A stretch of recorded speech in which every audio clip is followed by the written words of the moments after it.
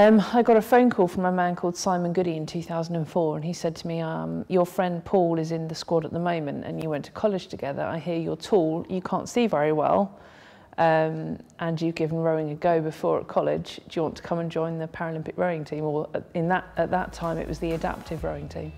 And I thought, why not? What could happen? You know, anything could happen with this. So I went down to London and gave it a go.